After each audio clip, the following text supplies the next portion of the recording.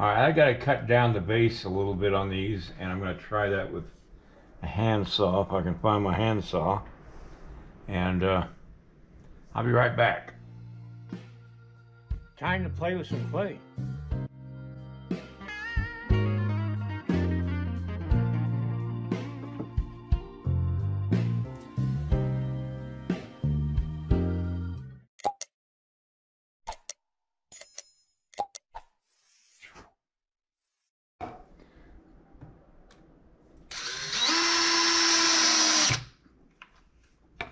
Okay, I cut off a lot of extra wood off this uh, base here. I'm going to do the same thing with uh, the other guy.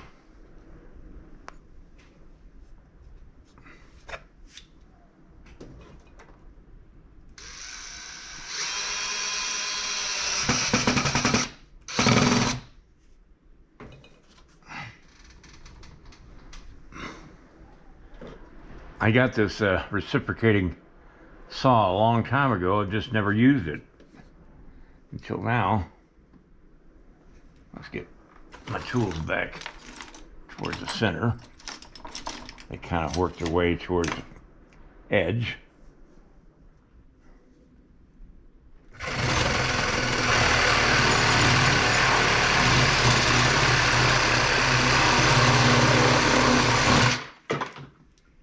That didn't take hardly anything to do that. Wow.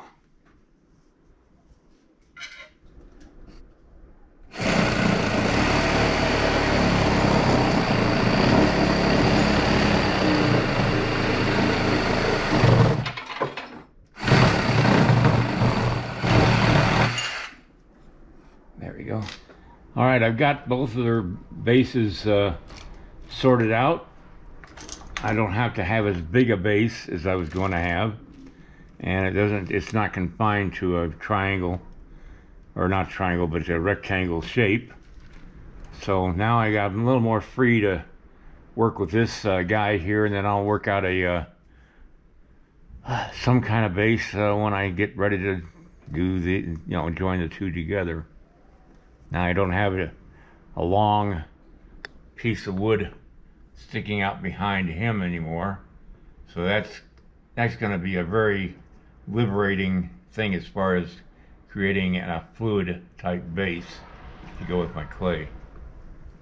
So now I'm going to start working on this guy and I'll be right back. Now as you can see I took the hair off this guy and uh, there was a reason for that. I didn't necessarily like the long hair and I love his face. It's an older face, so I'll keep that. But uh, the hair I wanted to uh, rethink.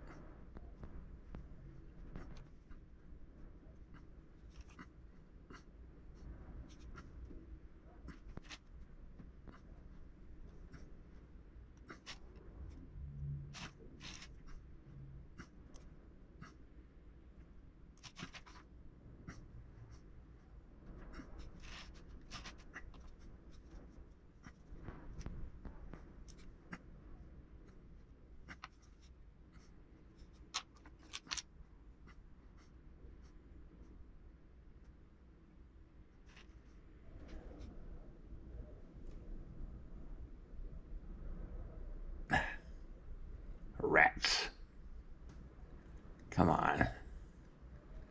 Go where I want you.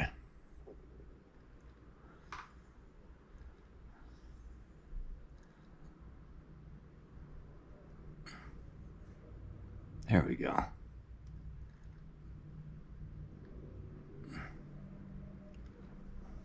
Slipped into place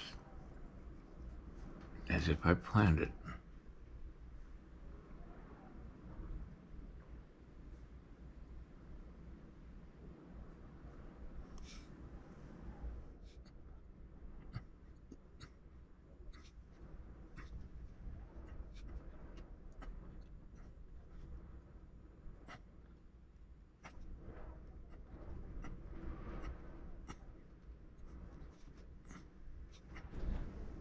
One of the things that inspired me to sculpt were a collection of Japanese ceramics my mom had, my mom and dad had, in their house in Hawaii when I lived there.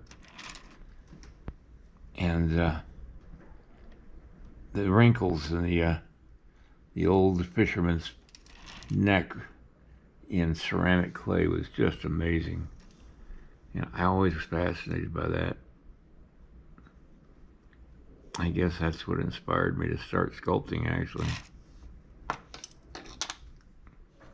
The tales my grandmother told me of Ute Indians coming up to their cabin up in the mountains, their one room cabin, when she was a little girl,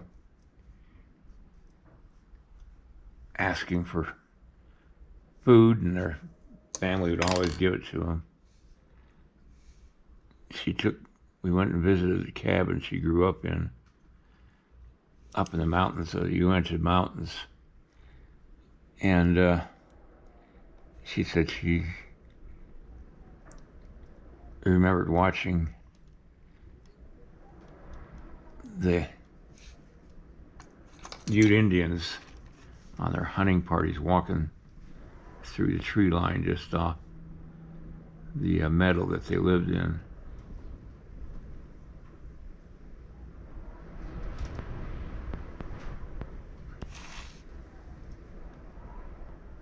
Mean, that kind of story tends to inspire and uh, invigorate a young person's mind. It certainly did mine. We had a lot of good westerns back in the 50s, so a lot more than we have now. And uh,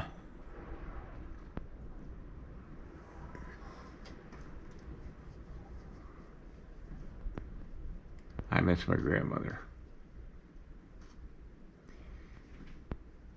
I got a great photograph someplace of my grandpa and grandma in the buggy just after they got married. Beginning of the century.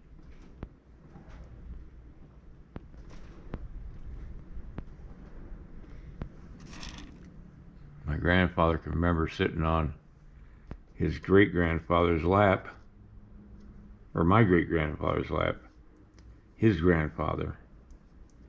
And his grandfather came across the prairie in 1847. So I had a lot to inspire me to become a Western artist. It is our history. And it is the only true art form, American art form. I mean, modern art is European inspired, Western art is American, fully American.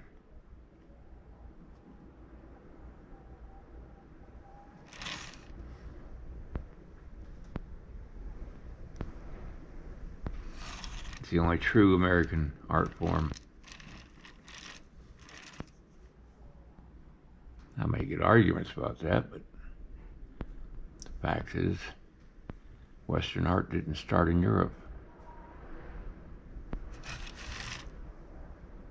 Although Europeans love it. What got me started doing Native American stuff is back when I was a kid, we took a vacation in our 50 Chevy to New Mexico or someplace in the southern, southwest part of the United States. Back then, you hung a uh, canvas bag full of water off your uh, hood ornament because if you're boiled over in the middle of the desert and you didn't have a and there's a long distance between one tr- gas station and another, you had to have some water to uh, put in your radiator.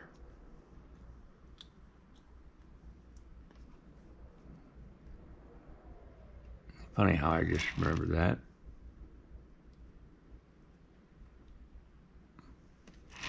We went to a uh, Pueblo. I, it seems like it was cliff dwellings. And there were a group of Native Americans dressed in their regalia there dancing. And that was the first time I'd ever come in contact with the Native Americans. And uh, it left quite an impression in my mind.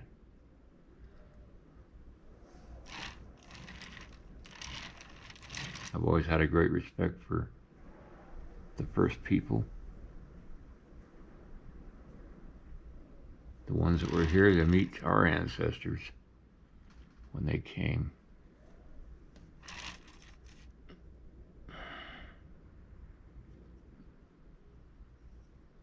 Ah.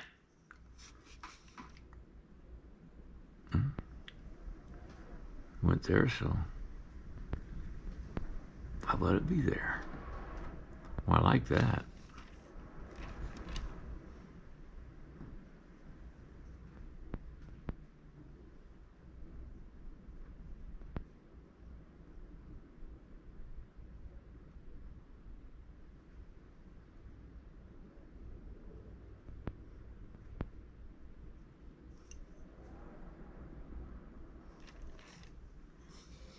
I'll repeat that on the other side.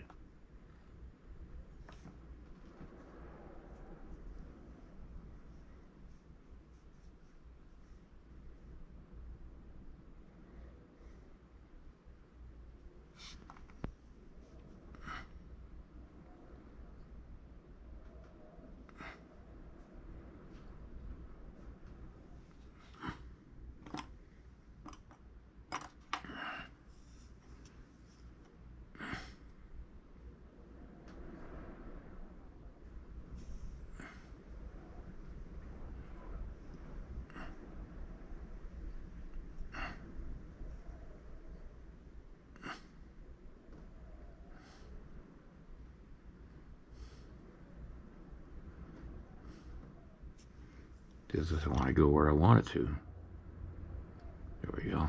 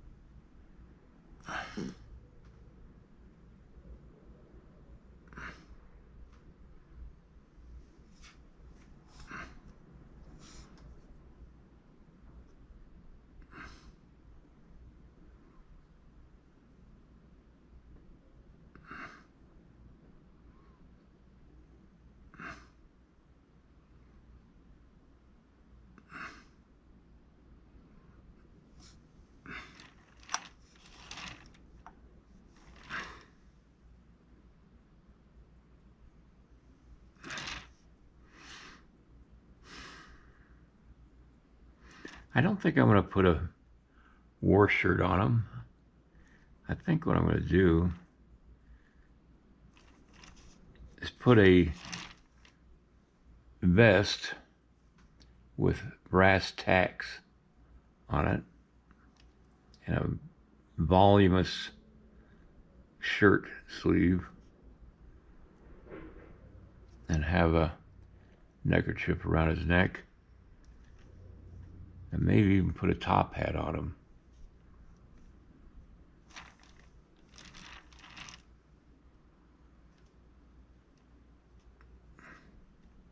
Or some other kind of hat. I don't know. I'm just thinking right now. All right, this is the last thing I'm going to do tonight.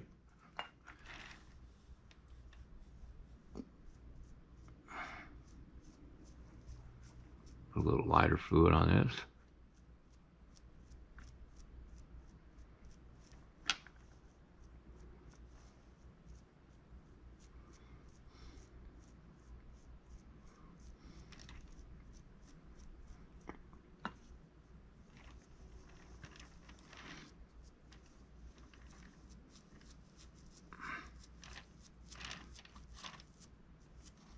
I'll work on that neck a little bit more next time.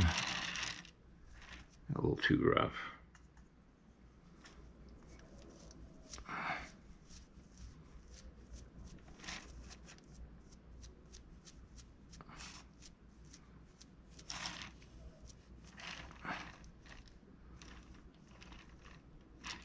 All right. That's going to be it for tonight. I'll see you guys next time. A like and a subscribe and ring the little bell. Also, don't forget I have instructional videos available now online. The link below this video shows you a link to a review of all nine videos. Later, everybody. Good night.